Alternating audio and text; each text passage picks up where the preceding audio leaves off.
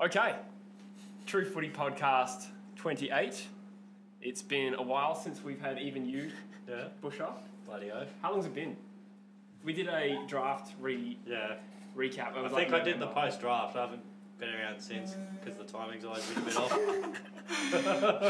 Let's get the nervous parts out early. That's Yeah. good. Who Yeah. was that? No, it's just the chair. That's just, this is the chair. Yeah, Just I, I, won't turn that, I, just, timing. I just won't turn that far. That's fine. Okay, that's good. No, it's always the chair. yeah.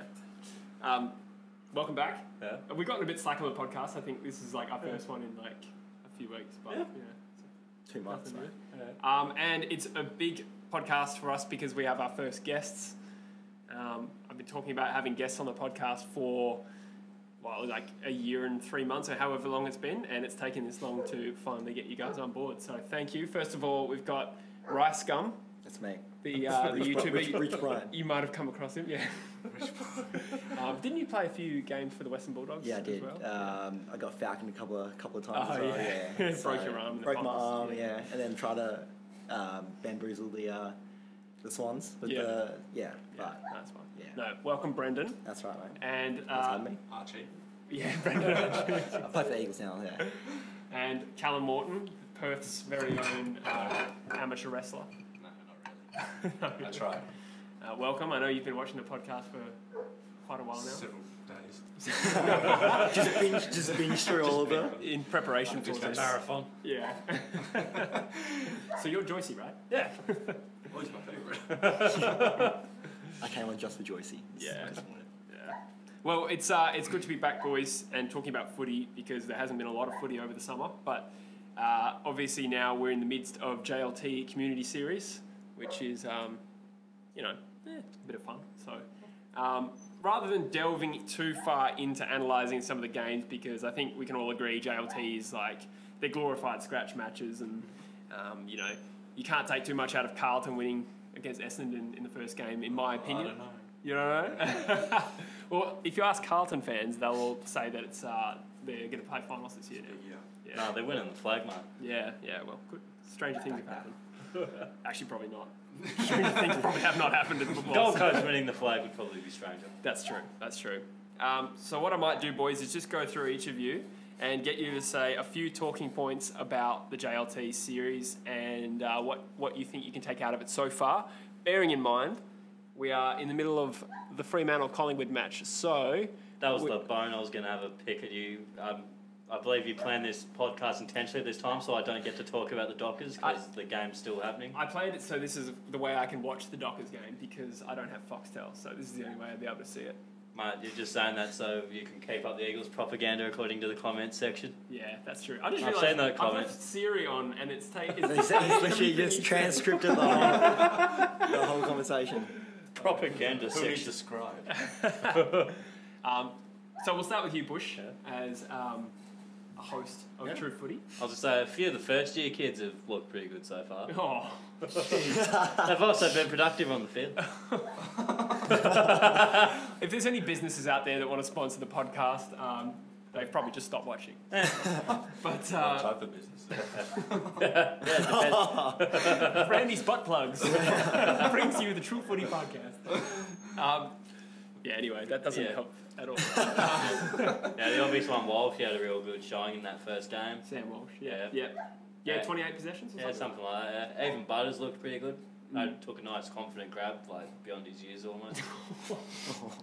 Is this what the True Footy, True 40, True true Footy 40. podcast is about? Just one more time, just get You know, jokes. actually, surprisingly, we've been pretty clean up until this point. But I Yeah. think I think we're a little nervous. we It's- haven't been in a yeah. podcast situation. That's, I for a think while. it's more me and Jesse haven't seen each other for a while, so all Mm. the jokes and innuendos come out at Every, once. everything that's been saved up is just been just sprayed Blast everywhere. out. It's just all Yeah, at now. once, doesn't even make sense. It's just coming out. Um, yeah. Okay. So your biggest takeaways, you'd say, are some of the first year players. Yeah, the draft class looks pretty good so far. Even Quaynor so far in this game's looked pretty good. Yep. He's looked like he's got a good boot on him. Yeah. Hit Right. his targets, that sort of thing. Yeah. Good call. Um, Morts, what about yourself? Any other particular takeaways you've seen from the preseason so far? Uh, I actually thought Brisbane has been playing, or did play really well. I know it is JLT and it's a glorified scratch match, but like some of the taking points away from it, like uh, Neale and Lyons coming in, big inclusions for Brisbane, um, and then Rayner is obviously a fantastic young gun. How far can they really go this season? Oh, good call. Well, how far can they go? I think top eight might be a bit of a stretch, Ooh. but I reckon they'll put on some pretty competitive games this year. Much better than last year. good call, good call. And uh, Lincoln McCarthy as well, who made his move to uh, Brisbane from Geelong to be with his best mate Lachie Neale. I think he played pretty well, kicked a couple of goals and Yeah, 17 possessions yeah, as it was quite good. Yeah. I put him in my dream team after that, but we'll talk about that a bit more later. Uh, all right, Lynn.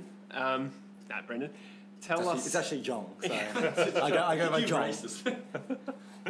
Uh, what, what about yourself? What kind of takeaways would you take from JLT so far? Well, one of the main ones is definitely Taranto from GWS. Everyone's um, saying that he's going to have a due for a breakout year, especially with Shiel moving to Essendon as a extra midfield time. And uh, well, mainly I'm just focusing on that because fantasy wise, I'm very interested. Yeah. Uh, yeah, so Taranto's a big one from GWS. I do love Taranto. I, my, my opinion at the time when he went through the draft at pick two was that he was the clear best player in the draft and that Sam Powell Pepper was second. So we'll see how that goes. Oh, I'm just saying. Bold predictions. Bold predictions, yeah. Okay.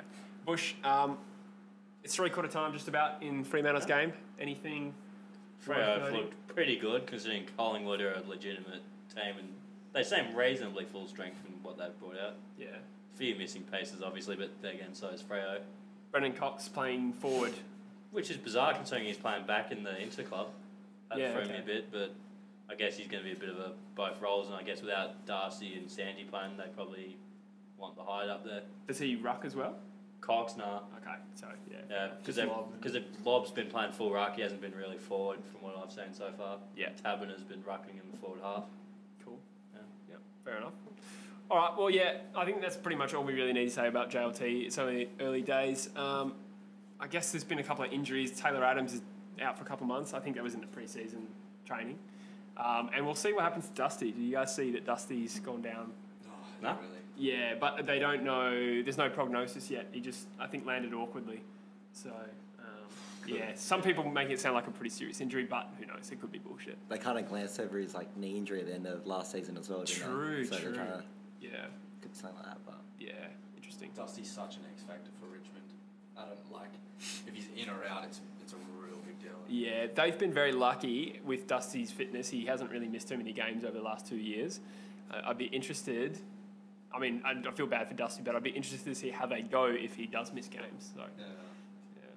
Historically, he's been pretty healthy, like longevity wise. He Yeah. hasn't had too much stints on the sideline. I think Richmond, like across the board, have barely had any injuries. Their man management seems really good, or Yeah. they're just lucky, or players don't get suspended. Pew pew. Yeah, just throwing some shade. I'm only joking, but uh, it's true, um, and it's probably a credit to their medical team as well. So, yeah. All right, boys, it's AFL fantasy time of the year, uh, and I think that's what everyone's getting like really into JLT about because um, you get to see sort of new up and coming players or players in new roles in new teams and how they're going to go and how many points they're going to score for the year. Um, and I know you guys, particularly you, course, are a big fantasy buff. oh no. I'd say you're kind of like my fantasy sensei. AFL fantasy, Yeah. that is. We call on them. Uh, I, I, I'm, I'm sexual. both as well. Yeah, I'm cramming, yeah. cramming in so many I'm, Asian I'm, references. I'm my own sensei as well. Like. Ah, okay, yeah. no. um, so, boys, uh, you guys, do you, does anyone here play Super Coach or is it just Dream Team? Fantasy, Nah, just otherwise. fantasy. Yeah. Fantasy, it's called fantasy. Because Yeah. Dream Team's still on. It's just it's like a paid thing, isn't it? Is it? I I thought, I thought they like separated at one point. Ah, you might be right because I only started um, playing fantasy like last year. Yeah, that might be a few years ago. No? Yeah, okay. Yeah, Yeah. Yeah, who cares? I thought I thought I thought it. there was only two. It was like literally just AFL Fantasy and then Supercoach. Yeah, I thought Dream Team rebranded to Yeah. be. okay, Yeah, right, that's right, what. I thought. But anyway, I'm wrong. yeah, let's. talk, talk about the important one. We have a bad history of um, dropping like unsubstantiated facts on this podcast. No, we know everything. So. I think it's a true fact. The uh, A true fact, True, This is true, the True footy Fact podcast. footy fact. if that. Um, yeah. Okay, so courts. I want to ask you the first fantasy question. Yeah. Which football player would you like to date? Now, um, who would be? That that'd be uh, straight up Elliot Yeo right there. oh, yeah, a lot of people say Elliot Yeo. That's a surprising one for me. Brad Sheppard's way better. Way way better looking. Oh, we're talking about looks. Ah, no, I was, I was, I was, Uh, I was, I was talking about body. like a yeah. And probably money. Um, yeah, yeah, yeah, yeah. Just talking about money, Jesus. Uh, God, I wonder how many people just turned off the podcast just at that moment. Wow, this is Fantasy, no, trash. no, sorry. fantasy. Oh, we bring Bring games. back Joycey. We didn't Bring mean fantasy Joycey. footy. We meant footy fantasy. oh, baby. Um, all right, courts. Yes. No Tom Mitchell this year. Who is the first mid that you picked in your team going into 2019? First person that came straight to mind was Macrae, Yep. uh, especially because at the end of the season, uh, ended off with a 190, I think. Uh, the end, Did he? literally last game, yeah, Far 190. Um, and yeah, so and then obviously like same price, you still probably save I think probably like 100k from Yeah. Mitchell and Macrae, maybe a little bit less. Yeah, I But think I then- think Macrae's like 890 at the moment. Yeah. Yeah. yeah, So and It's still obviously most the, expensive. yeah. yeah, the other option would be to maybe get two more, like instead of getting like straight swap Mitchell from Macrae, is to get two other decently priced people rather than Macrae because that's still a lot of money to. What, what did you spend. do?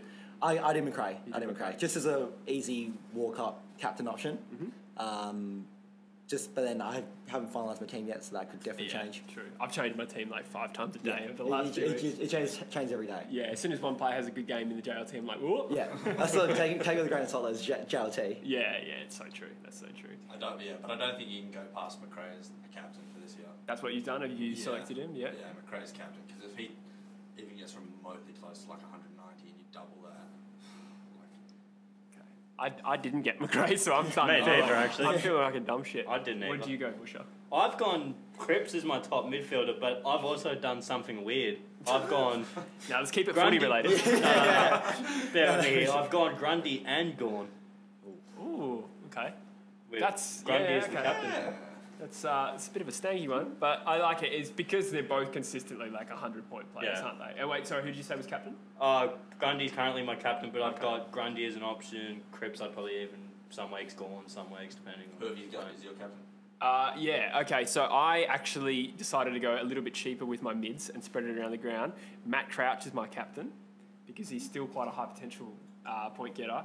But I also got Zorko, so I kind of like got my second You're midfielder. not scared of the tagging again, or Um, no? With like, now I am. I no, even- let's say Didn't he now, start the year poorly and then really ramped it up? Yeah, Zorko? so That's how I when, you, remember when it. you just wait until like he gets the bad games out. Yeah, maybe. But they got Neale now. Yeah, so that's what I was to say. Neale come in, take some pressure off him. So, Yeah, but then it's Beams is gone. Yeah, so, So- same thing. Maybe I am wrong. Maybe Yin they'll yang. rather tag Neale over It's Zorko. Lin. Jong, not Yin Yang. Dude, all your Asian, uh, all your Asian communities just There are offended some now, as well. and then they're just gone. I have some Your really four good. subscribers in China Yeah. are just like locked off right now. I should do have a Vietnam viewing. There's like multiple people that re- regularly tune in. They're- True Footy they're podcast bots. are real They're big in. Vietnam. Um, okay, I guess then we can sort of um, like on Bush's point. I want to know what ruck combinations have everyone gone with. Um, I'll start with you this time, Morts. See, this is where I'm really struggling because I've got Grundy in. Um, I think he has the potential to be the, like, as the things already predicted, the best ruckman in the league, especially in fantasy, um, and just score tons and tons every week. Um, but my trouble is selecting the second ruckman. Do you go for a mid-price player that's going to get you 70 to 80 points a week? Do you double up like Busher did and get two elite ruckmen? Or do you just try your luck on someone fairly fresh-faced and see how many points they can get from it? I've heard Darcy Fort's not a bad cheap option from Geelong. It sounds like he's a front runner for that number one ruck almost. Yeah, he's only 170k. I Yeah, presume you mean on the Yeah. bench. You, yeah, Yeah. you wouldn't, you wouldn't See, risk I've him got- putting I've him on got the I've, I've seen people at starting him actually. But What was that? I've got Fort on the bench at the moment. Yeah. Okay. Yeah. I've seen people starting him, eh? Wow, that's Yeah. ballsy. Yeah, well, that, Yeah, it saves you a lot of money, but um, yeah, It's a it's risk. yeah, Yeah, it's huge definitely risk risky. because if and if he's not if, if it doesn't pay off, then you're in a, Yeah. you're stuck in a sticky situation. You got to get money. He could be the next Yeah. Sean Darcy. He could be the next Tim English because Tim English, his first year when he actually played, he didn't put up that many points. I don't think. Nah, Yeah. a, a couple of weeks he did decently, Yeah, but, but not. It's not. yeah. You don't want him on your field the, I every heard- single week. I have read that the best ruckmen are always those that have got quite a few years of experience behind their belt, and they because they tend to put on a bit more body weight and a bit more experience around the Yeah. positioning, and what they're supposed to be doing. That's what people said about English. Oh, he's, put on, Yeah. over 100, 100 kilos now, isn't he? He's Is he? bulked up. That's why people are, man, uh, I know some people are going for him because he's got, um, uh, they came and said he's got the number one rock spot for Bulldogs Okay. and that he's beefed up, so Yeah. he's So potentially that's a good option. Yeah, I like that's that. very viable. Yeah. Because you think about the ruck position, how like so much of it is just body and body work, and if you're a taller, skinnier ruckman, it's unless you're really quick and really good skills. I Or know. play forward or something. Yeah. Yeah.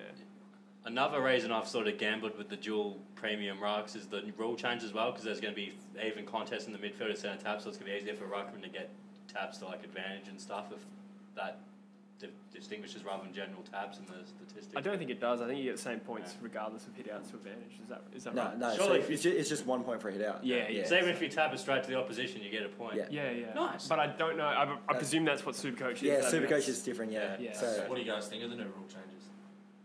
Oh, segue, because I forgot to mention it. That's right. I was going to mention that earlier. Yeah. Uh, okay. Well, one of the ruck related rule changes was that you can actually grab it out of the ruck now. Yeah, that's what I was Without say it being well. prior opportunity. Uh, how that's going to affect DT, I, I don't really know. It just means you're more likely to grab it out of the ruck and then try hands it off. So it's, yeah. it's, So it's an extra point. ex- Extra disposals out from a ruckman. but then they're foregoing hand, potentially getting a handball, uh, sorry, a tap point, because if they try and, you know. But then if you think about it this way, if if how- a ruckman's going to take possession of the ball, it's going to be it could be a tackle for Yellow other ruckman. So that's Uh, instead of just the one point this from the lateral And they can chuck it on the boot and get a point for a kick. yeah, or that as, as well. Mm, that's true. Um, so it's pretty hard to predict what I'd say there. Um, but the one that will affect Dream Team is the kickouts.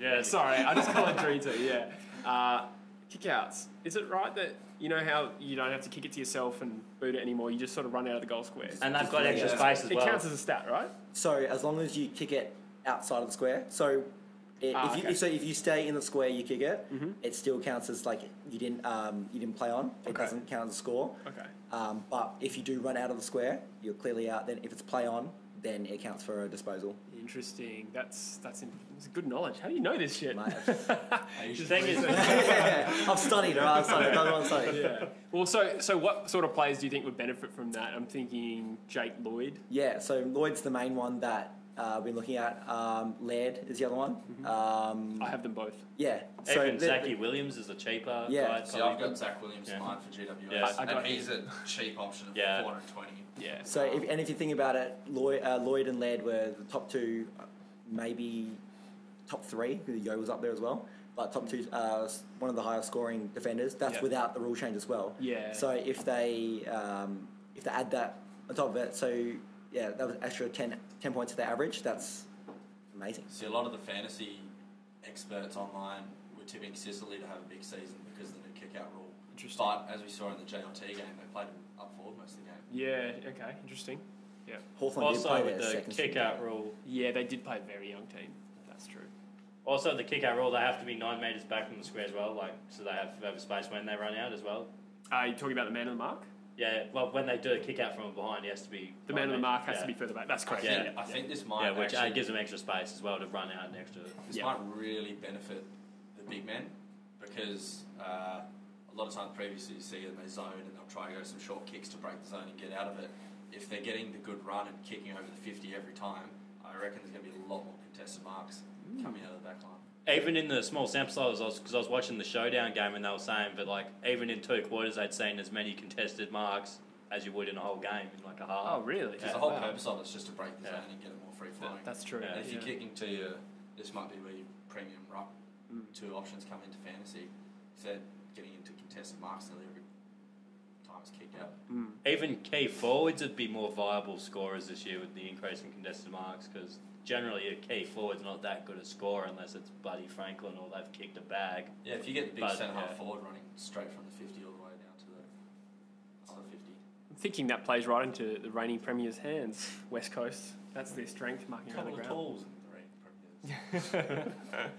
uh, yeah, no, that's, that's all very interesting, actually. Yeah. Um, speaking of the new rules, did you guys um, see that?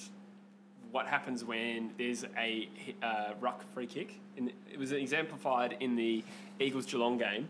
Yeah, that's a reset to the position. tag. Exactly right. So you, you have to start six six six, uh, which I think everyone understands right now. But you if the ruckman gives away a free kick, he can't take the free kick until everyone's run back into their position. So what happened with the Geelong game was everyone had run in, and because nobody really understood the rule, like Tom Hickey had a free kick, I think, and we waited, we lost like a minute before players like walk so back do into they their delay defense. the play on rule then? Uh, they I just guess they have to, wouldn't they? they just delayed, but yeah, everything. The whole like, game. Yeah. Which I think there's going to be like tinkered with. I doubt that's going to stay. I don't know how they're going to get around No, it. especially if a lot of the other rules they want it more free flowing, like the kick out and the ruckman being able to grab the ball and Yeah. go previous or whatever. If they got to stop and pause in the middle of the game and let everyone run back out, Mm. I feel like it is since it is a new rule, they're still learning it. So Yeah. once it, obviously, like from that, they'll probably tell the teams again to like, explain it again, Mm. so that it never happens again. But then I think that was also like shown more because Eagles got a goal out of it because was it, uh, yeah Allen took a mark straight from that clearance that free kick sorry from the free kick that Higgy got, Right. and then obviously that would make a difference because Yeah. yeah Yeah. So, um, which ruck combination have you gone with, Cords? uh, at the moment I am Have you gone with? No. I haven't gone with gone, so. nah, uh, the two I have at the moment are Grundy and Kreuzer. Okay. Kreuzer is the interesting one. Obviously, that might not change if he doesn't play, but um, his two years ago, he was averaging 95, I think maybe nearly 100. Um, and he's really cheap now for his uh, for his potential as five hundred okay, but obviously he's injury prone, which could um, which could affect my choice of him. Um, but if he's if he's fit, then I reckon he's a, he could be a decent choice. Frees up money for other positions as well. I think Cruz is a huge risk, like a huge risk. I had him last year in fantasy, um, and he started off really well, scoring heaps of points, around ninety, a couple over hundred games, and then I didn't have him for like eight weeks or something, and just screwed me. Yeah, usually um, with rucks I go as uh, I just go two primos, so I don't have to worry about them at all. Um, usually it's um, Grundy or Stef Martin or Gawn. In that case, last year I started with Gawn and Stef. Didn't go Grundy, which is a big mistake. But um, Stef at the moment's injured, or and then uh, and then playing Archie Smith as well. We so kind of don't want to um, risk it with him as well. But and then I was going to go Gawn, but then with the addition of Preuss and don't know how the rocks are going to work this year, then that's a big risk as well. So, as Mort said before, uh, the R two position is really a tough one. I've gone Grundy and McEvoy actually. Big boy. Yeah, uh, he's 630k. Um, Kilos. I think, I think it's about right. is a big boy. I think he's. I think he's a good player. I've gone with Fort on the bench, but the other one I think could be a good pickup as a cash cow is Zach Clark. Yeah, Uh, I, I how- agree. How many points did he little score in cheaper. JLT? JLT was huge, wasn't it? 104 or something. Yeah, Yeah. yeah. But then we still don't know if he's going to be starting, right? Because they've still got Leuenberger, Bellchambers, and McKernan. That's true, but he's only a bench option. Yeah, true. But then He's only worth then- 100k. but then- no, No, he's worth 400. Sorry, He's uh, 240, I think. 270. But I mean, sorry, um, when I said 100k, I meant He's more 100 than more than a baseline player. Which but then 170. I'd rather spend that 100k and Because you don't you don't really know how he's going to go uh, full regular season against proper top level ruckman. No. you just can't and get thirty points, forty points every game. Yeah, that, that is true. But I think for the potential benefit, it's a fair trade off, personally. A couple of um, options that uh, people are uh, one is a unique option. Uh, Goldie uh, Golding from uh, North Melbourne. Um, he really kind of got overshadowed by Grundy and Gawn last year. But if you look at his scores from he finished 2018 really well. Um, but he had a couple of bad games that brought his average down. But he's still an option. And uh, the other one was uh, Witts.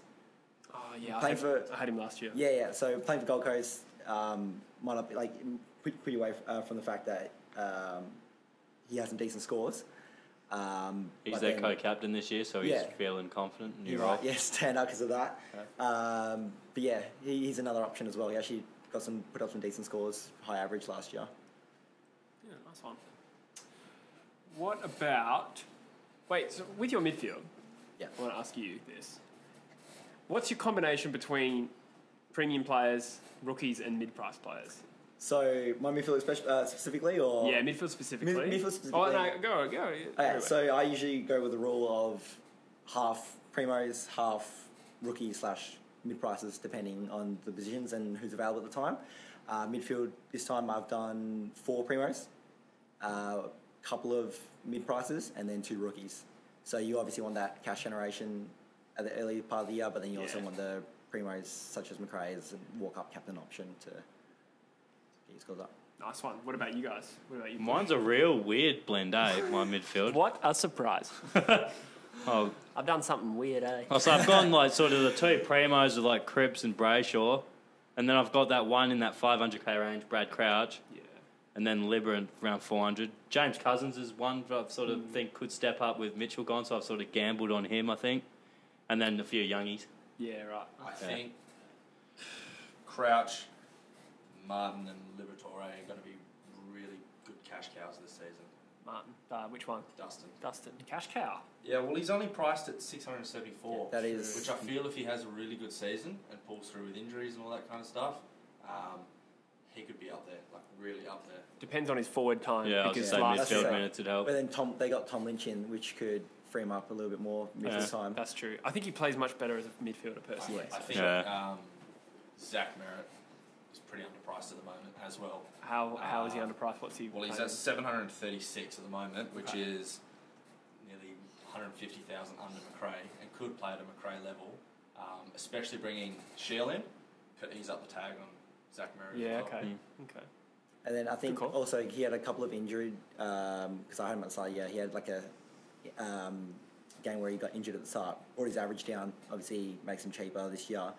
Um, so I agree. He's merits in my team as well at the moment. Um, he's a gun and he is underpriced for his premium status. Um, but then the other mid-priced options there were like value picks were Crouch, but we've talked about uh, Liberatore, which is kind of a bit iffy if he, he's a bit injury prone, but he um, could be potential uh, potentially good. Um, I think he scored 104 or something. yeah, I, I, thought, I, thought, I thought I saw a ton, ton up as well. Yeah. Um, and then and he's only like 300, 300 okay, which is really cheap. Mm. Um, Hanbury and Miles the other two as well, but I think Hanbury's injured and Miles. Yeah, I don't know about Miles. He didn't have a good JLT. yeah, he didn't one, have a good but JLT game, yeah. which could put a lot of people off him. Yeah, yeah. Um, So the obvious inclusion in everyone's midfield is Sam Walsh, right? Yes, yeah. definitely. And Zach Butters, I've added as well. Yeah. I had 25 well. possessions, close to 100 points, uh, and I called in one of my other videos. He will go close to an early Rising Star nomination, so a must-have, you might say.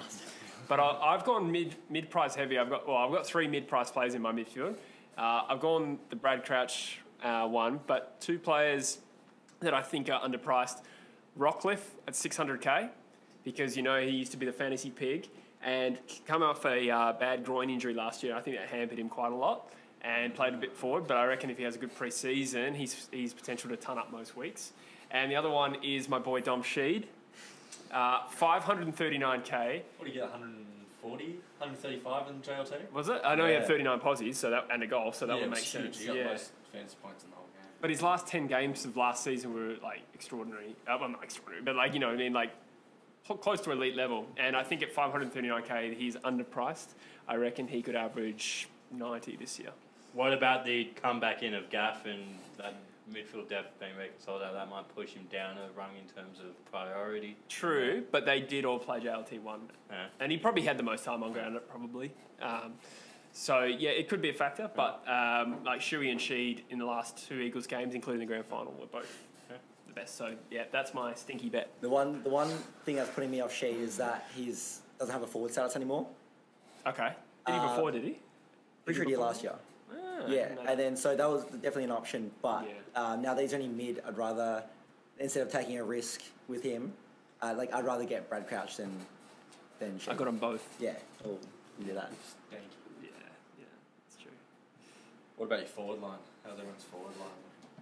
Let's have a look. Uh, I presume everyone got danger. Yeah. Yeah. What about Devon Smith? I feel like he's a Yeah. must-have. I did both. They're my two premiums. Yeah. So yeah, fir- first two people, the first two forwards put in definitely Smith and uh, Danger. Uh, although Smith did have like a bicep injury that was a little bit of a scare, wasn't it? But he's He did played his have JLT. limited, limited yeah. minutes. um, He or- played the second half. Well, they did a thing where the first half they had half their minutes played, second half, okay. yeah, the other Okay. half played. But then, even then, if he, uh, he's still gone. Obviously, most expensive forward for a reason, uh, main, mainly for his tackling. But if he keeps that up, then that'd be good.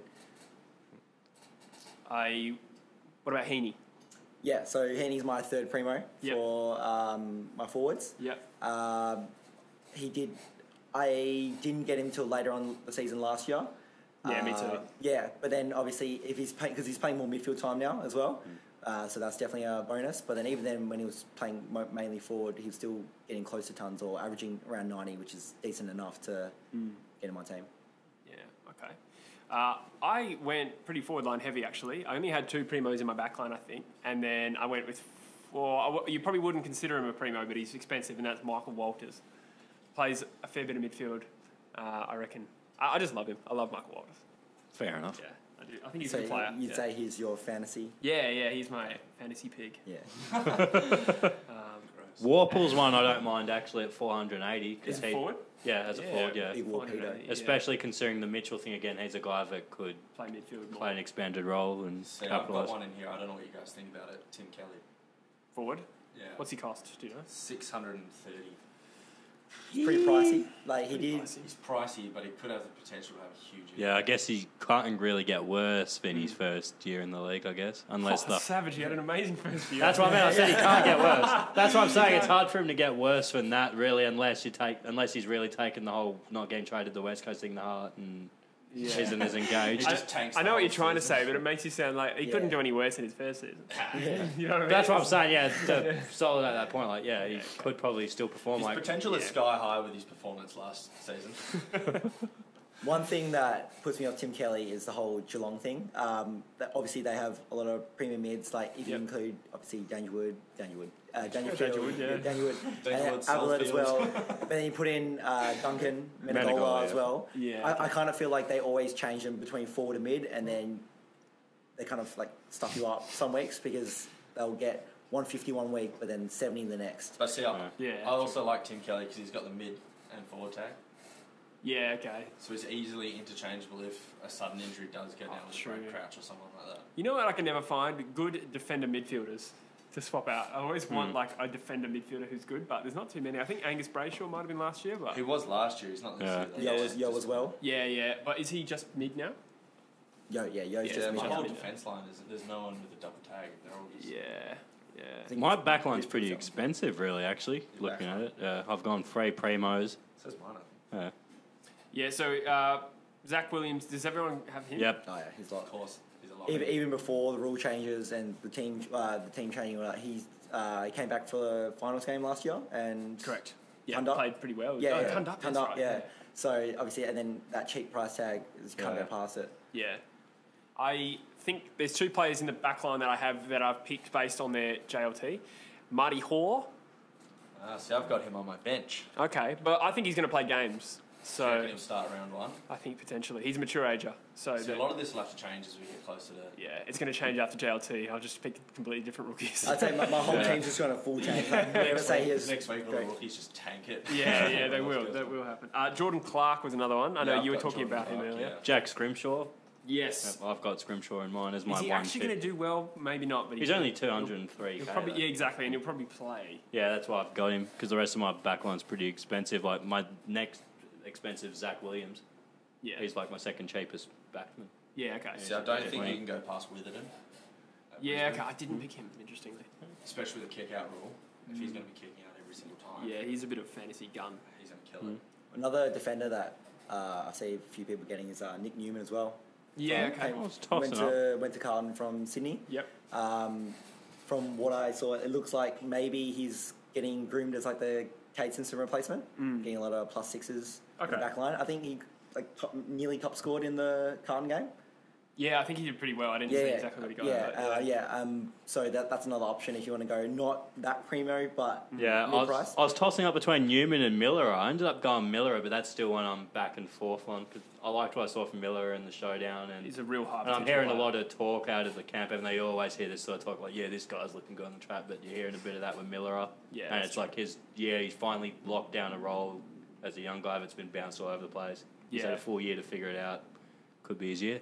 I've got a real gamble in my defence. Uh, Oscar Allen from the West Coast Eagles. Ooh, okay. Now I know he's played forward for the JLT game, and I think that's their plan moving forward with him. Um, but fantasy does have him listed as a, as a defender, as a backman. I think if Is he on the field for you? yes, he's on the field, which is a, which is why I said it's a big gamble. Um, now he's cheap at 276k. Um, but if Josh Kennedy's in doubt, um, which as his age is going, they tend to rest him a bit, and he does have small nagging injuries. Um, and if he does continue to show good promise and good skills like he did in the JLT game, they could go with a, uh, a very tall lineup and put him in there as well. Even I think he could even play with the Kennedy in the team as the third forward. Yeah, I reckon they could Like roll Kennedy, with Darling, and Allen. just stick Allen in the forward pocket. Yeah. Um, Waterman probably miss now out. that but- with LeCras retired, retired um, there's a free spot available in the forward line. yeah, that's It true. just Uh, depends whether they've got Vardy in there as well. Because if I think if you've got um, too many tolls in there, they might decide not to go. They might, but they, by the time the grand final happened, the Eagles were playing one less forward than they did, or one less tall. Like they started the year with Waterman as the third forward yeah. and Vardy, so they could just revert to having Allen Yeah. instead of Waterman this year. It's What are Chris- Chris Vardy's prospects He's- he'll be Hickey in the team? He'll still be Yeah, playing. okay. Yeah, they'll, Yeah. they'll roll with two rucks. Yeah. Yeah. yeah. Um, uh, another sneaky forward I wanted to mention was Oliver Hanrahan, Ah, a Hawthorn small forward. mentioned. 170k, uh, had like 19 possessions. I have his stats here. Oh, here we go. Just happened to be open. 19 possessions, two tackles, four inside 50s. Yeah, um, I feel like he's a good uh, value. In fact, bargain price, cash cow. Another one for the forward slash mid. I thought of Will Setterfield. What are people's thoughts on him? Is he So I've got him in people my uh, midfield at the moment.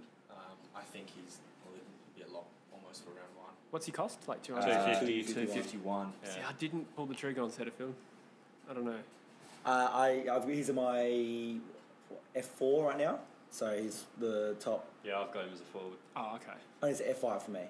Um, so he's one of my uh, un, like rookies for my forward line. Um, I don't think there was any other forwards that could have like fit in that range. Uh, obviously, Rankine.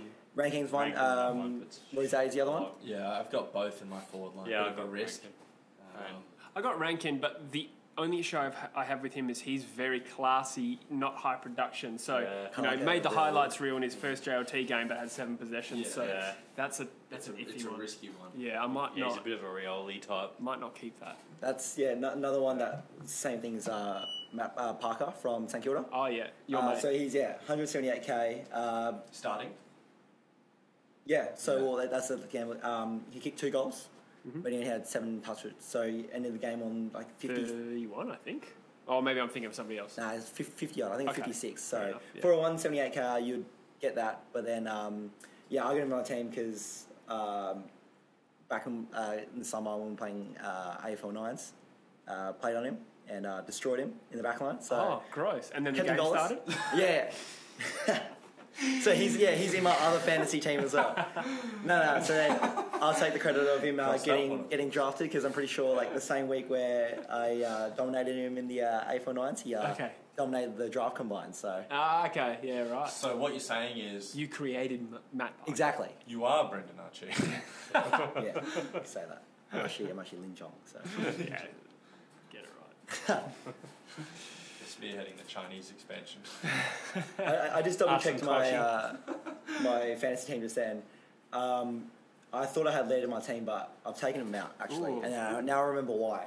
Is um, I was tossing up between obviously like getting Laird and Lloyd together, which both primos, but um, one more person coming back from Adelaide that might affect Laird is um, Brody Smith. Ah, true. So Laird took, I, th- I think he took most of the kick-ins, um, but then now with Smith back, he, I think that he might take a bit more. So maybe Okay. they'll change his role a little bit. Like in saying that, Laird is still a gun, and you should definitely consider getting him. But getting um, Brody Smith's a little throws a little bit of span in the works and deciding your back line. Yeah. Oh, good call. Good call. Yeah. Um, just looking at my list. Oh, the Any? other, Oh yeah, no, you uh, the other uh, mid-price or like cheap uh, defender options are Sam Collins from Gold Oh, Coast. yeah, yeah. uh, what came got Ex-Docker. delisted by yeah, Yep, ex Docker ex-Docker. went to what, the VFL, did he? Yeah, he killed it in the Uh, VFL. yes. Yeah, so Yeah, picked up by that's Gold Coast. Um, I think and he got sixty odd in his first game, but still for uh, he's got potential because I remember when he was playing for Freo, he was getting some eighties and nineties. So Yeah, right. that's an, that's another option there. He'll for- probably play every game too. probably Yeah, a lot of intercept marking, a lot of that Yeah. stuff. Yeah. Who are the cash cows that you guys have? Maybe just sitting on your bench or 170k rookie players that you think might turn up. Uh, oh, Bailey Scott was going to be. Did I steal yours? What you were going to say? Bailey Scott. Yes. Sorry. Isn't Bailey Scott a midfielder? Yeah, he is. Yeah. But on, if you sit him on the bench and he. Oh, you might, I'll go on the bench. Had 21 yeah, no, I'm not possessions. starting any of this. No, no, he's 21 possessions um, in his first game, and had a, he's only 174k. Sneaky chance for round one. Oh, don't good mind. suggestion, Morton. I think Nick Hind might be a good one from St Kilda. he's the one that only scored 31, though. But potential to s- play around one. Yeah, he's a mature age. Sitting on the bench, and if you can make 100k off him in the first couple of rounds, it's easy 100k that you can easily spend on a premium player. I saw he did well in JLT, but I don't know if he'll play. But Brian Myers maybe. Brian Miles. I love saying that. Grind, it's just the best Gr- name. Gr- I've ever heard. Grind, is It's name? like it's like he had two male parents, Greg and Dave. No, Greg and Brian. Brian. Sorry, Greg and Grave. Grave. Grave. Grave. Gravid. Um, but yeah, anyway. No, he's. I think he could be a gun. Actually, I don't know if he'll play, but he's. I want him got- to play so BT can just commentate. Brian. Another another person that uh, played was uh, Gibbons from Carlton. yeah. Uh, he was- scored two goals, but then again, he's one of those like uh, I think it was mainly seeing the goals. Like a Yeah. people were comparing him to Pickett Right, as well. right. So like, he'd get like one or two goals here and there, but then low possession games get Yeah. maximum sixty points. See, that's the Isn't thing. he, only supposed to be a mid? he is. Yeah, so he's mid on fantasy, but Yeah. from what I saw in JLT, he was mainly Yeah, playing in yeah. goal square. Say what you will about Carlton, they've got a couple of good fantasy picks in there, don't they? Mm, that's true. Yeah, Gibbons, Walsh. I had another one as well. Some excellent Setterfield. premium players. Yeah, Setterfield. Yeah, that was. Thing about Gibbons for me is that he kicked two or three with three goals, and he still only scored fifty. So Yeah. that makes me think for the games he doesn't score three goals. Exactly. Um, yeah. Uh, mo- one more bigger mid that I see they're bringing is uh, Constable from Geelong as well. Yeah. Um, Constable who? Um, yeah, I think he was gonna. He'd he'd probably get into the Geelong main team, and Yep. um, obviously he's only one one seventy k. So if he can make some money, then that's good. Had him all year last year, waiting for him to crack that debut, and it never happened. So nah. Dylan Screw him. Moore as well. I don't mind the look of as once again with the logic player? that Fantasy pick. yeah. Once again with the logic that he'll get to fill a Tom Mitchell related hole. Oh mate, you're just, just taking a piss now. But yeah, he's another one that I could knew we were talking about this kind of fantasy. The other one um, from Gold Coast as well, Burgess. Burgess, Oh, I've got yeah. him on my bench as well. Me too. Yeah. Uh, be a very what I one. like about picking up Gold Coast players is that if they're if they're starting, then you'd assume that they're probably part of the best twenty two because it's not hard to crack that. Team. There's no Um, doubt. with Yeah, there's no, there's no Burgess, doubt. Burgess got a uh, defense and forward tag. So True. he could be like very valuable Mm. anywhere an injury drops or if he plays well and someone's underperforming. Okay, boys, I think we've covered the fantasy stuff quite uh, thoroughly, you might say. So, what we might do for this last segment of the podcast is to tune into some of our questions we get from our viewers. If you're not part of our Discord community, if you're not part of our, if you're not part of our Discord community, uh, check the link in the description to join up because uh, we got a great community going on there called True Footy, and this is the way people write into us with their questions. So, the first one we got uh, was actually off a YouTube comment, not a Discord comment, but it's from Mr. Bahuba, and the question That's racist. it's kind of like a long-winded post, but he's please stop. he's, he's asking us about uh, is the AFL doing enough in terms of international expansion of the game? Um, Brendan, we'll start with you. I'm, I'm actually uh, f- from Australia, so yeah, uh, yeah. So My last name is Cook. Um, yeah, is the AFL doing enough in terms of international expansion? It doesn't really seem to this person, I presume it's a male, uh, that it's really on the agenda you enough. just assume his gender. It's called Mr. Bahuba. It's Mr. Bahuba. He could identify as a female though. Yeah, it seems unlikely. just, just answer the or it question. could be a female identifying as a male. Well, the question is, are the, are the AFL doing enough? Yeah, are the AFL doing enough? And my follow-up question is, do you care? Okay, I was going to start with that. Okay. Um, No. To be honest, I don't think that the AFL should expand internationally. Mm-hmm. Um, well, for the size of our country, um, it- like it would take too long to expand to a full international game. Uh, they should just focus mainly on perfecting the sport in Australia now. Mm-hmm. Uh, there's still a lot of kinks they got to get out, but um, are they doing enough to actually push for it? Probably not. Uh, what one game in Shanghai, I think we have a New Zealand game as well. New Zealand? Yeah, what, what the What we did. Anzac Day yeah, yeah. week. Right. Um, yep. Even then, that's like two games out of the whole season with 23 rounds and nine games per round. Um, I Not- feel like they're kind of just doing these things to say they're doing it. Does that make sense? Hey, Mm. look at us, we're doing international expansion. Um, I don't really think it's needed though. I think it's profit motivated because there are a lot of people who just have corporate jobs in well, the corporate AFL who are whose job it is purely to expand the game. I reckon Yeah. that would be the case. Because when you look at that NFL, uh, you can see there's really no need for international expansion. Um, they're hugely popular and highly profitable business, um, just staying within the United States. And I mean, I, I think they have a couple exhibition games. Like I think they do one in London, and um, and I mean it is globally popular just due to the, the size of it. Um, but I don't think the AFL really needs to directly go, hey, we need a Kiwi team or we need to play seven games in Shanghai a year. I think it's if they can work as hard as they can developing AFL and the league and the business here, the rest of the international stuff will almost sort itself out.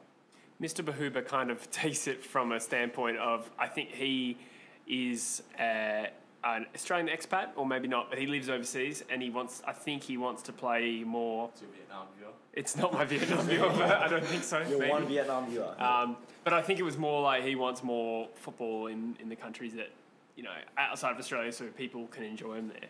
So I know there's smallish local leagues in like the states and stuff. I but think they even do a World Cup. they do, but uh, and he references that, but he, he thinks it's not necessarily enough. My argument would be that um, Australia hasn't even successfully expanded all across the country yet. yeah. No. It's only we're only in four different states. Well, that's a lot, I guess. Uh, wait, is that right? Four states? Well, No, we're in. We're, sorry, we're, we're prominent in Victoria, WA, South Australia. Tassie. Uh, well, I guess we're prominent in Tassie, but we don't have a team there yet. Um, and then Vic- Queensland and New South Wales, um, we just don't really have a presence at, at Because all. I mean, you could you could Barely. make an argument for a few more cities getting expansion teams, Yeah. like a Hobart or Launceston or Mm, Darwin, Canberra. yeah. Um, Canberra's got a pretty successful rugby league team. yeah. GWS, you could almost call the Canberra team to an extent. They play a fair few games in Canberra each year. Yeah. But the thing Greater Western Canberra. the the league's already got so many teams, and if you add more expansion teams, it's just gonna like I say downgrade the level of footy. I mean, like as you can see, like Gold Coast team right now, is, everyone just wants to that doesn't want to stay at Gold Coast. Everyone just wants everyone just wants to go home. Doesn't want to play at that club. So um, I think one pop, well not popular, but one thing I I've read about is um, getting rid of Gold Coast and then moving like North Melbourne to Tassie as well, uh, just as to expand more. But then one more thing in into like we haven't even uh, with international games, um, it just totally messes up the fixture. So already like as what, what team flies to China? Like, or yeah, not even that. Well, like it's WA where you get like ro- we, we, we, we, always, we, we get rolled anyway in having to travel every second week.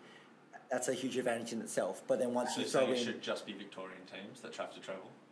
no, I would say they shouldn't have like they shouldn't need to travel overseas for an exhibition game or like if you want to pay for premiership points for like no reason just to like it, it just puts teams to such a big disadvantage uh, stuffs the fixtures up as did like um, Gold Coast and Port. Port had to had their own buy um, like out of the loop of every uh, every other uh, team Yeah. so it just yeah I don't think it's worth it Footy's just going to Yeah. be difficult to implement really anywhere where, like at a grassroots level, it's not too popular. Because I mean, even even Brisbane, they've got a good fan base now, but still not as strong as many other teams. And winning wasn't really the success for them holding on to fans. Like they push all these good draft picks and players to Gold Coast and Western Sydney and stuff, and they did the same with Brisbane, and they won three premierships, and now no one really cares again. Like, True. I guess my answer to sum it up to Mr. Bahuba would be that the um, the AFL has its own sort of short-term goal that it's battling with other sports within Australia. So I don't really expect them to divert more resources into growing the game internationally, especially when the return on investment must be pretty low. Like it's a long-term game to try and develop, you know, footy in China. Like how far off is that? Seriously, best case scenario, like hundred years. So yeah, yeah, that's just my view. Um, Max has another question for us. I've already answered this in a previous video, but just short and sweet. Did you guys enjoy AFLX? And were you annoyed at all that your team's players were forced to participate? Courts. Um, I didn't watch much of the AFLX. Uh, I did catch like few, flew a few glimpses. Yeah. Um, but from what I saw, if you didn't really study the rules, then it was kind of a like mess. Like um, obviously the players, I, I feel like the players didn't take it seriously, um, and I, I- it was good to see them have fun and see players that you wouldn't see play together in a team play together. But like if they're going to do a preseason um, tournament or games, then I'd rather them just do like a state of origin. It'd definitely bring more viewers. It'd be more interesting, and they'll be actually playing like proper AFL. Like, What's Yeah, it? it's Leigh Matthews fun. that said the state of origin idea. yeah, yeah. I did like the cool uh, NBA Cool team names? style entrances really? where they all walk in and they got no Oh suits yeah. and shit. yeah, yeah, That was funny. Yeah. yeah. Did you like a bush? I like like I'd consider playing it if there was like less gimmicks, like as a weekday night sort of spot where you go down for your forty minutes, like a nice easy weekday spot where you don't need to organise twenty people to play a team sport. It, it'd serve that purpose fine, especially with square ovals being in a much more abundance than round ovals. True. I, I feel like it, it's it just got treated like a meme, which it kind of Yeah. was. Too many the- gimmicks. the team names were kind of memey. Um, like the way, like it was pretty funny, but the way they're doing like the scissors paper rock at the start, Yeah. uh, the the way that they like dressed up But to. didn't, the AFL didn't present it seriously, so no one really took it seriously. well, the AFL probably didn't market to people who already for like kids. footy. They claimed it as That's a kids thing. theory. The whole every during the whole broadcast, like this is for the kids. This is all about the kids. I think, yeah, like you said, Which is when you started watching. So it's, it's catered towards it's catered towards Morts. for kids, that's for you. Um, yeah, no, I think yeah, state of origin would be much better, or like like an American All Star kind of. Yeah. We should get the American All Stars to play AFLX. How good would LeBron James be as a ruckman, really? yeah, probably decent. He'd be a walk in for most teams almost. Um, all right. Oh, uh, and he also asked, yeah, are you annoyed players from your club were forced to participate? I would say I don't think they were forced because I know that Luke uh, Nat Fyfe said he wanted to pick Luke Shuey with the first pick in AFLX, and the Eagles held back Luke Shuey. I guess he wasn't quite fit, but um, I would say that uh, no one was forced. A lot of people pulled out as well. Yeah, right. So Again, I think it's there's like, what was the purpose? I mean, they probably got a nice paycheck, but then that was about it. I think they got like The what, captain's 40 got grand. like 50 grand each. 50 I think. grand, yeah, captains. right. I don't know what the, each player would have got, but Yeah, that's- probably 10. But I guess at the end of the day, forget it is their job. Yeah, Yeah. that's true. That's true. Uh, all right, I'll direct this one to Busher because it's a Fremantle related question. Uh, this is from Bruce, and I apologise. I'm pretty sure Bruce asked this a couple of podcasts ago, and we didn't get to it because I missed it. But Bruce wants to know how many years do you give Ross Lyon to get Fremantle into the finals before he should be considered for the sack? Almost this end of this year, if we, I don't see improvement, I'd Yeah, but finals, yeah. definitely if we don't make finals within two years, two years. two years can him. But to be fair, I've joined the one to can wagon about a year ago. This, uh, Yeah, okay. I got yeah. pretty done with him. It sounds like a lot of Fremantle, Yeah. Fremantle fans I know are pretty impatient with him. Yeah, I'm pre- like I'm prepared to give him a crack, but at the same time, I'm just sort of I feel like he's almost Yeah. living off past glory.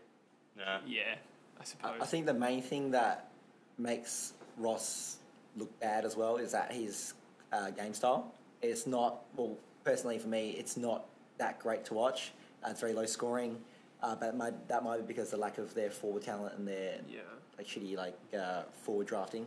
An offensive style with no tall forwards. I want to see how he adapts to the rule changes actually, because he's the he was the OG of pressing in zones and all this stuff. So now that you can boot over the zones a bit more with the run out rule and the six six six, I want to see if that will make him play a more traditional offensive style rather than his flooding sort of style. I feel like the, the new additions to the team as well, um, Hogan and Roaring Lobster. Uh, they definitely help. Obviously, their forward presence, which they've been lacking since Pavlich. Um, so I feel like if if Freo put up more competitive games with more goals, I feel like fans wouldn't hate on Ross as much uh, because it'd be at least entertaining to watch. But obviously, um, he's been at this like um, like no man's land really for a while. That's why fans are getting a bit agitated and annoyed because they obviously want big glory. Yeah, Yeah. exactly. Fair enough. Um, well, Bruce has follow up questions. What's your favourite holiday destination in WA, Busher? Rotto. Rotto. I've been going there my whole life. Love it. Yeah, right. What about you, Morts? Uh, I really like Shark Bay. There you are. Yeah, Yeah, right. nice little place. Yourself? Chinatown. Uh, like uh, yeah, Chinatown and um, Northbridge. Yeah, I was gonna say. Nah, um, holiday destination. I haven't really gone on many holidays. I'd say like down south is probably the most generic answer I can just give. Yeah, Um, yeah. yeah, I mean, technically, me living in Australia is a holiday because yeah. I, Extended ca- I, ca- I came around a boat and like Yeah, it's okay. We've got one on board, so we Right, can so- say that. so I- I- no I- pun intended. I've got a green card. So. yeah, green card. Yeah. so international expansion. Yeah. um, yeah, for me, I would say I'm from Bunbury. It's hard to put that down as a de- holiday destination, uh, but I do like what you going like to back. do. You could say Black Diamond or Maroon. I think down Busso. I just like going to Yeah, Busso. Busso, I've got family there, so yeah. What Uh, did say bus stop? The bus stop. yeah, the bus stop. Yeah, I, my family lives there. Yeah, oh, That's where, you, that's where you meet the local meth dealer. Yeah, in Bunbury, yeah. um, what Australian capital city, Bruce asks, do you dislike the most and why? Go this way now. Dislike the most. Yeah. Australian capital city. Uh, well, I haven't. I haven't uh, left WA. I've been overseas. I haven't been interstate yet. So Perth. So I'd say as- there's a lot of flogs in Perth. So it's a love hate relationship. Yeah, I'd say Perth. Yeah, exactly. I love Perth. I hate it. Uh, whatever. Uh, what about yourself, Busher? I've only been to Melbourne, but from what like the stereotypes of people from Melbourne and stuff, I'd probably say Melbourne based on like the stereotype of it being a bit of a So one out of one. Yeah. We're just Um, gonna lose all our Melbourne viewers now. What about yourself, Moores? You used to live in Queensland, didn't you? Yeah, so I've actually been to three capital cities in Australia. Flex. Um, obviously Flex. Perth, Brisbane, um, and Sydney. Uh, I quite like Perth living here. Um, Brisbane is a lovely city. It's probably my favourite city in Australia. You'd probably be the only person I know to have said that.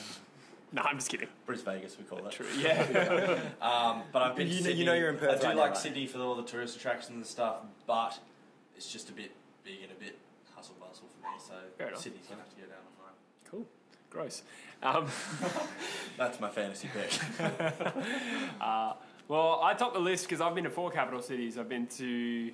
Uh, you got Perth, but you got. Uh, I've been to Sydney Airport. I've been to Adelaide. I've been to Brisbane. I've been to Hobart, and I've been to Melbourne. So, uh, is It's that? four, isn't it? Yeah, it's five, including Perth. Um, The capital of what did I miss out? Southwest WA, Boston. Wait, which state did I miss out? Have I been to every? Darwin, Northern Hey, Territory. North, Northern Territory. Yeah, okay. Have you been to Canberra? ACT? Nah, haven't been to the territory. Oh, I've been to Canberra actually. Oh, okay, huge. Very cold. yeah, okay. I've heard that. Uh, how, how disappointed would you be if, um, since you didn't answer this question a couple of podcasts ago, like Bruce just stopped watching? Yeah. and we just answered all his Nah. all his questions. All He's, these uh, people like, oh, He's why in the aren't they talking about Discord. footy anymore? yeah. It's now the Bruce podcast. Yeah, for you, true. Bruce. True. Um, Didn't we make Bruce a mod? He's a top Oh, fan. fair enough. No. Top fan. He's a top fan. Um, now it's awkward. Oh, Yeah, yeah. I'm just kidding. Uh, we defined it. I I would say my least favorite out of all those maybe maybe Adelaide. I don't know. I used to go over there for taekwondo, so um, I was over there for fights. You're not under 12s Bunbury Taekwondo champion Jason McCullough. Under 14 national Australian Oh. champion. Just gonna put that out there. Yeah, so I can beat up any 14 year old. Um, Ooh, gross. yeah, I don't know. I Maybe mm, I don't know. I, I like them all. To be honest, uh, Melbourne's my favourite. That would have been. Is that because we won the grand final there last year? or- Yeah, and it's just that, is home that the football. last place you shed tears? Is that because someone recognised you at the grand final? Yeah, house. someone recognised you. okay. That's because someone recognised you in Melbourne. That's why you love Melbourne. Yeah, got true, true. over A podcast viewer. oh my god, Jesse, True Footy Podcast. nah, it was someone. That's Hopefully he's definitely a lie. No, that's definitely a lie. You're like, Two Bunnings customers have come up to me and said, "Hey, it's True Footy." yes. Truth. When you're I like, don't know why I pointed to when, you. when you're standing indoors, but oh, when you when you come back out, Yeah. yeah. Bruce, like you just say, Here's "You're from 20. True Footy." Yeah, exactly. slipping the, uh, slipping the Bunnings gift card. Here's some Petty uh, cash there. NPK Just fertilizers free. just come to the cafe and yell that out. Do you want some Android, Android uh, ant, ant back? That shit's expensive. Exactly. That's Yeah. just slipping out. Um, all right, final question, guys. Take bef- before we wrap it up, um, we have a final question from Girth Lord 48. Um, I'm hoping 48 is not his year of birth, I but think that says 69. no, this is 48. That's what I Yeah, Girth Girth Lord 48. Does anyone at True Footy have a secret talent? Uh, well, I did kind of mention my Taekwondo one, so it's not really a secret anymore, but uh, tell your friends. Uh, but I do know someone else actually at this table with a secret talent. Um, I'm fluent in German. Van het urinieren vanaf het potten. What does that mean? I like Harry Potter. Will members of the crew kindly refrain from urinating on the poop deck? Tell Are, me are that wasn't Hitler? actually. Is that- is that- are you are you Hitler? well, Oh wow. Oh, that's the line, is it? Yeah. We're only allowed to crack Kevin Spacey Yeah. jokes on this Oh, yeah. podcast. Yeah. we're allowed we're allowed pedos, but not don't know the joke. not not not geniuses. All right. Yeah. Anyway, uh, Morts. Yes. A while ago, I found out an interesting thing about you, which was that you are Perth's biggest scripted wrestler. How? What would you describe it as? It's like the equivalent of WWE in Perth. Yeah. So. Would you call it scripted or choreographed wrestling? What, No, not really. It's more entertainment is probably the word we like to use. Um, this is not a joke. It sounds like he's joking, but this is real. no, thing. this isn't a joke. I'm actually a trained professional wrestler um, at EPW in Perth. Um, good plug. Um, Do you know do you know John Cena? No, I probably know someone that knows someone that knows someone. Yeah. You wouldn't be able to you wouldn't be able to see him anyway. So. Yeah. Yeah. I look like him though, so Yeah. True. often get From the waist down. Because of all the steroid abuse. Yeah. Yeah.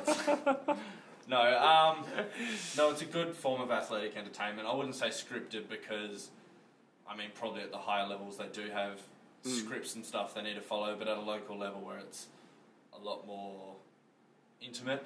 Um, this isn't gay. There's Um, no speedos involved. Nothing Um, wrong with that.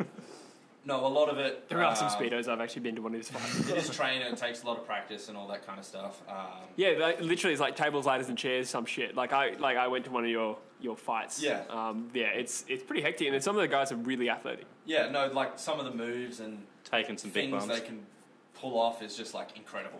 Like That, that's all you took out from the that some of the guys are It's sounding athletic. um, but no, a lot of it um, just does come from the top of your head. Um, wrestling is real.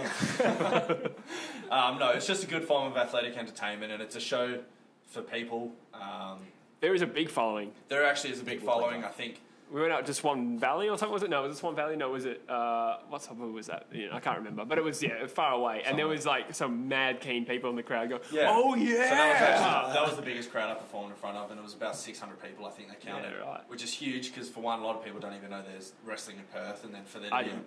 for there to be a crowd of 600 people going to watch it. yeah. Um, For example, that'd probably be a bigger crowd than your average SBL game, which is like the Really? high level. Yeah, That's incredible. yeah.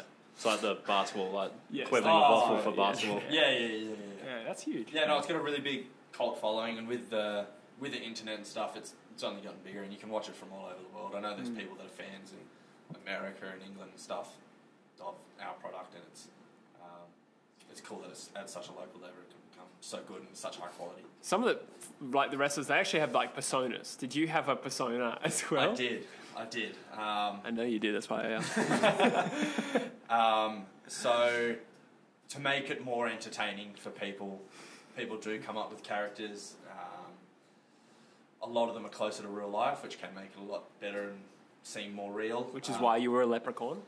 I wasn't a leprechaun. Uh, mine was a bit different from who I am normally. I was a vegan.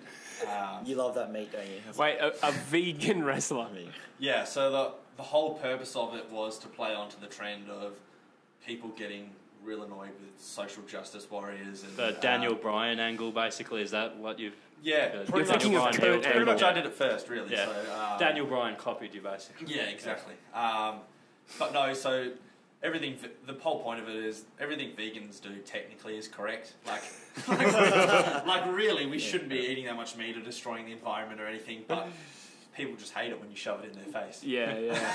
so I've been told. Like, even this character, for example, that I mentioned, he's currently wa- got the belt, and he's literally had it made out of like all natural materials, like hemp and shit, just Because to you don't want to be, be with his harvesting character. leather Yeah. and whatnot. Um, Just so he can judge the crowd and like rant and get booze from them. Are you in character? Is that why you're saying we shouldn't do that? you got any carrots under that table? is this a wrestling match right now? Like, just about to break the table. Did you um? Do you fight alone or do you have like a partner? Normally alone. For this one instance, I did have a partner. Mm-hmm. And what were they dressed as? My partner was a carrot. um, he was the animal safety and security carrot, uh, so abbreviated for short, the ass carrot. Oh, that's right, the ass carrot. I do remember that Um, actually. Yeah. Yeah, he was a good companion while he lasted. Mm. Um, Do you have a really intimate, intimate, relationship was with this carrot? Took an unexpected turn. Yes. To- to that No comment. Uh, nah. Well, that is interesting. That is something that I think a lot of people Yeah. watching this. So if anyone watching this likes wrestling, Yeah. um, check it out. Explosive Pro Wrestling in Perth, EPW. Yeah. Um, it's great fun. It's a great night out. Like not only for young people around our age, but kids and families, and you got people from 80 years old to five years old. Fighting. Not fighting. um, but yeah, everyone enjoys it. and It's a great night out. That's cool, man. Like, I remember when you first told me about it, you said all you wanted to do was grow up and be someone like Rikishi. I think you said it was. In uh, you, you, you kind of model. Still 100 kilos less than Rikishi, but um, What's what's Rikishi's signature move as well? where Yeah, just show us. Yeah, no, show don't us, yeah, yeah, Actually, just why, sign why out. did I say? Demonstrate Oh, on sure, we Jesse. get, we get demonetized for. You get, you get demonetized.